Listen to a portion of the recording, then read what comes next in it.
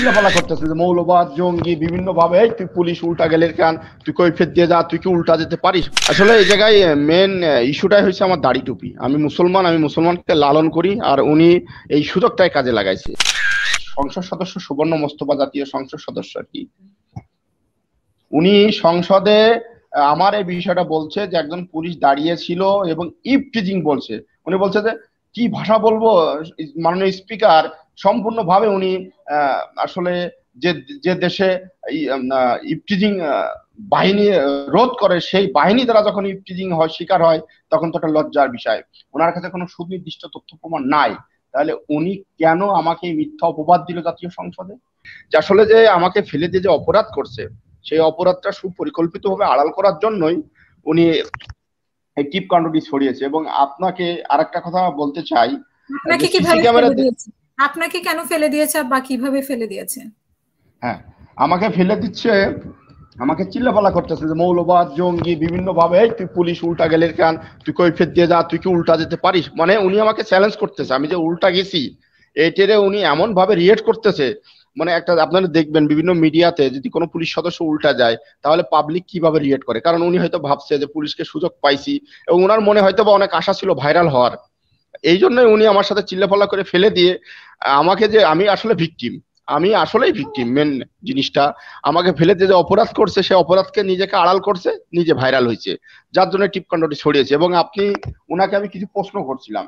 যে প্রশ্নগুলো আমি আপনাকে বলতে চাচ্ছি তার একটা প্রশ্ন ছিল যে আপনি রাস্তায় অনেক এমন কি কেউ আছে প্রত্যক্ষ সাক্ষী যে শুনেছে আমি টিপ করছিস কেন বলে বাজে গালি দিছি? তা লতা সমর্দার বলতেছে না না আমার প্রত্যক্ষ কোনো সাক্ষী ছিল না। দেখেন, ঘটনাস্থলে অনেক লোক ছিল। তাহলে তো এমন কেউ নাই যে শুনবে। একটা জিনিস বললে তো শুনবে, স্বাভাবিক। সবাই শুনবে না। আমি আপনাকে যে ডকুমেন্ট দেখাচ্ছি, এই যে দেখেন, এই ডকুমেন্টসে ওনার আমি জিরা করছি, সে জিরার কপি আছে যে আমি কি কি জিরা করছি। তা উনি, আমি বলছি যে আপনি কীভাবে শুনলেন? আমি মন্তব্য করেছি। তা উনি বলছে যে, আমি বলছিলাম যে আপনি ছাড়া প্রত্যক্ষ কোনো সাক্ষী আছে যে শুনেছে, মন্তব্য করেছি। তা উনি প্রত্যক্ষভাবে বলছে যে না, প্রত্যক্ষ কোনো সাক্ষী ছিল না। লতা সমদ্দার বলতেছে আমার সাক্ষী ছিল না। তাহলে আসলে এটা জাতির কাছে আমার প্রশ্ন। যে ঘটনার কোনো সাক্ষী নাই ভিডিও ফুটেজ নাই, কোনো অডিও ক্লিপ নাই। তাহলে আমাকে কেন অপরাধী করল?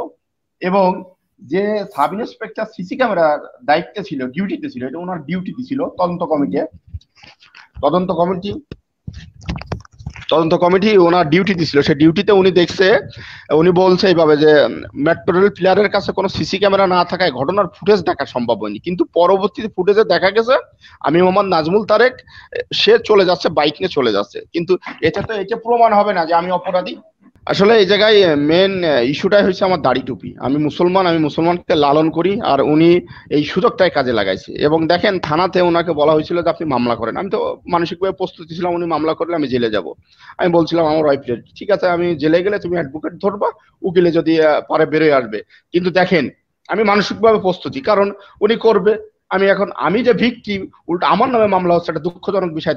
আপনি এটা গুরুত্বের সাথে দেখবেন, কিন্তু তিনি তখন মামলা করল না। তিনি থানাতে লিখিতভাবে বলল যে আমি মামলা করব না। কেন? উনি জানে যে মামলা করলে যা তথ্য প্রমাণ নাই, সেটার কোনো ভিত্তি থাকবে না। সেই জন্য উনি আমার বাহিনীতে অভিযোগ করল, আমার নামে একটা জিডি করল। দেখেন, বাংলাদেশে হাজার হাজার জিডি হয়। এমন একটা জিডি আমার আমার যে জিডিটা হয়েছে, এই জিডিটাই দেখলাম যে ফেমাস ভাবে গুরুতর সাথে তদন্ত করল। কিন্তু হাজার হাজার জিডি পড়ে থাকে, সেগুলো তো আমি তো তদন্ত দেখলাম না এরকম। আমার নামে জিডি করছে জিডির প্রেক্ষিতে আমাকে যে খুঁজে বের করল, সবকিছু করল, সেটা ঠিক আছে। কিন্তু তিনি কেন মামলা করল না? তার কি কোনো দুর্বলতা ছিল? এটা আমি দেশের জনগণের কাছে ছুড়ে দিলাম প্রশ্ন। এবং আমি জাতির কাছে প্রশ্ন একটাই, যে উনি আমাকে কামুক, আমার তো চরিত্র হরণ করার চেষ্টা করছে বিভিন্ন ভাবে বিভিন্ন মিডিয়াতে আমার, আমাকে ব্যাপকভাবে আমার মান সম্মান নষ্ট করছে। আসলে দেখেন, আমি বিভিন্ন মিডিয়াতে দেখছি, আমি নিজে দেখছি যে আমার বাইকটা আজ থেকে চার বছর আগে আমি চুরাই করছি। যে কনস্টেবল নাজমুল যে বাইকটা চালাই সেটা হলো চুরাই বাইক।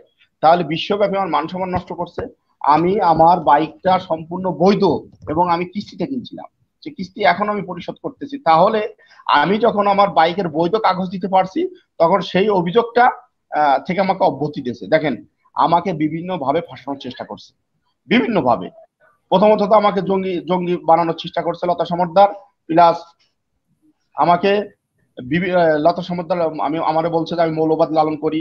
উনি তো আসলে আমার মান সম্মানটা একেবারে, শুধু মান সম্মান না উনি আমাকে অর্থনৈতিক ক্ষতি করছে, বিশ্বব্যাপী আমার মান সম্মান নষ্ট করছে এবং জানেন আরেকটা জিনিস, সেটা হলো ঘটনার দিনই সংসদ সদস্য সুবর্ণ মোস্তফা জাতীয় সংসদ সদস্য আর কি। উনি সংসদে আমার এই বিষয়টা বলছে যে একজন পুলিশ দাঁড়িয়ে ছিল এবং ইফটিজিং বলছে। উনি বলছে যে, কি ভাষা বলব, মাননীয় স্পিকার? সম্পূর্ণভাবে উনি আসলে যে যে দেশে ইফটিজিং বাহিনী রোধ করে, সেই বাহিনী দ্বারা যখন ইফটিজিং হয়, শিকার হয়, তখন তো একটা লজ্জার বিষয়। ওনার কাছে কোনো সুনির্দিষ্ট তথ্য প্রমাণ নাই। তাহলে উনি কেন আমাকে মিথ্যা অপবাদ দিল জাতীয় সংসদে? এবং উনি আমাকে ক্ষতি করছে। ওনার এই জাতীয় সংসদে বলাকে এটা ফলো ভাবে প্রচার হয়েছে এবং এতে আমার তো মান সম্মান গেছে, গোটা বাহিনীর মান সম্মান গেছে। কারণ দেখেন আমি যে পোশাক পরি আমার পুলিশের, মহামান্য আইজি স্যারও সেই একই পোশাক পরে। আমরা বলব পুলিশ একটা ফ্যামিলি কাজে উনি যখন আমার নামে মিথ্যা অভিযোগ দিচ্ছে, জাতীয় সংসদে কোনো তথ্য প্রমাণ নাই বলে ওনার কাছে, উনি দেখাইতে পারি নাই। ওনাকে আমি বারবার বলছি যে, আপনি তথ্য প্রমাণ সহ কথা বলেন উনি কোনো তথ্য প্রমাণ ছাড়া জাতীয় সংসদে বলে আমার বাহিনী বিশ্বব্যাপী হয়রানি, হেও, মান সম্মান নষ্ট করে আমার পুলিশ বাহিনীর।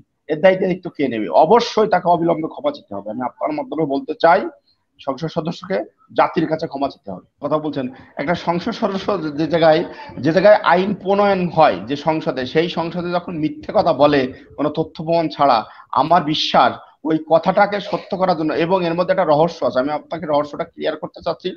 লতা সমর্দার মিডিয়াম থিয়েটারের শিক্ষক সুবর্ণ মোস্তফা সংসদ সদস্য মিডিয়া কর্মী, এদের ভিতরে যে একটা কানেকশন আছে, তাই ইজিলি বোঝা যাচ্ছে। এবং এই লতা সমর্দার এবং এই সু- সুবর্ণ মোস্তফা সংসদ সদস্য, এরা এটা পরিকল্পিত ভাবে এই নাটকটা সাজিয়েছে এবং এইটারে ফলভাবে প্রকাশ করছে বিধায় এইটারে সত্য বানানোর চেষ্টা করছে। কারণ যে জায়গায় একটা সংসদ সদস্য মিথ্যে কথা বলে সেই জায়গায় কোনো তথ্য প্রমাণ যখন থাকে না সেই জায়গায় আমি, আমার বিশ্বাস যে তার এই কথাটাকে প্রায়োরিটি দেওয়ার জন্যই এই তদন্ত কমিটি মানে আরেকটা জিনিস দেখবেন দুই সদস্য বিশিষ্ট যখন তদন্ত কমিটি হলো, সে জায়গায় স্পষ্টভাবে বলছে যে কি বিষয়ে কোনো প্রমাণ পাওয়া যায়নি, কিন্তু বাইকে ধাক্কা লেগে সে প্রমাণ পাওয়া গেছে, এটার একটা কাগজ আমার কাছেও আছে এবং আমি নিজেও দেখছি যে এটা বিভিন্ন ভাবে একটা নিউজ হয়েছে। আর আমার দীর্ঘ বিশ্বাস যে পরিকল্পিত লতা সমুদ্রের মিডিয়াম থিয়েটারের শিক্ষক, উনি জানে যে কোথায় কোন নাটক করতে হয়।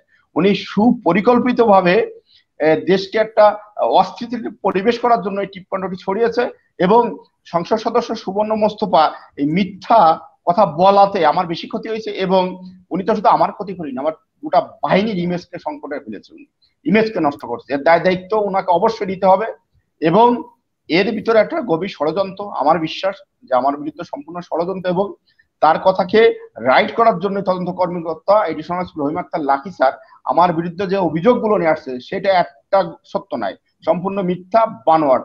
আপনি জানেন যে রহিম আক্তার লাকি স্যার, উনি যে ভিডিও ফুটেজ আমাকে আমাকে তো উচিত ছিল। আমি যখন দেখেন না, বিভাগীয় মামলা যখন হয়েছে, তখন আমাকে বানাইছে অপরাধী।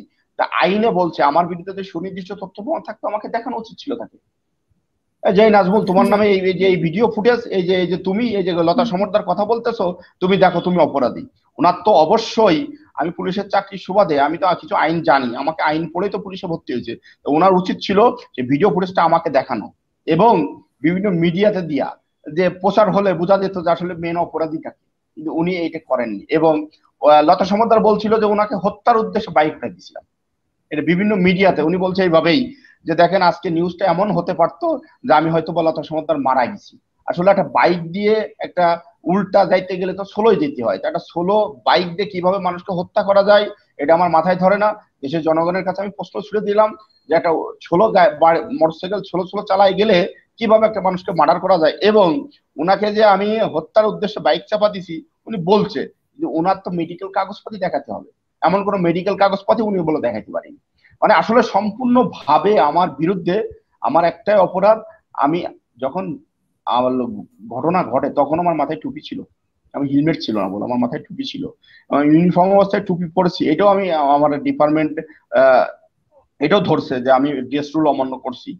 হ্যাঁ তারপরে দেখেন আমি ওগুলো অপরাধ করছি উল্টা যে। তাহলে আমার বিরুদ্ধে ট্রাফিক আইনে ব্যবস্থা নিত। ট্রাফিক আইনে আছে ট্রাফিক আইনে। কিন্তু আমাকে দেখেন পরিকল্পিত ভাবে আমার জিডি, যার তদন্ত কোন রিপোর্ট নাই, তদন্ত, দুই সদস্য ত- তদন্ত কমিটি দিয়ে কোনো টিপের কোনো অস্তিত্ব পেল না। আবার সেই জায়গায় রহিম আক্তার লাকি স্যার কোথায় পেল? উনি মেনলি আমাকে ভিডিও ফুটেজ দিয়ে অপরাধী প্রমাণ করছে, আর টিপ পড়ছি কেন অরুচি শব্দ। দেখেন, আমি আপনাকে বলতে চাই, দেশের জনগণকে বলতে চাই, বাংলাদেশ এমন কালচার বাংলাদেশ তো আইন আইন বিচার বিভাগটা স্বাধীন। তাহলে একজন লোক অভিযোগ করছে যে টিপ পড়ছস কেন? তাহলে অবশ্যই তার তথ্য প্রমাণ লাগবে সুনির্দিষ্ট তথ্য প্রমাণ লাগবে। তাহলেই তো বিচার করতে হবে। তাহলে যার কোনো তথ্য প্রমাণ নাই উনি শুধু বলছে এটাই কীভাবে রাইট করল তদন্ত কর্মকর্তা? আমি জাতির কাছে ছুটে দিলাম বাংলাদেশের জনগণের বিচার করবে।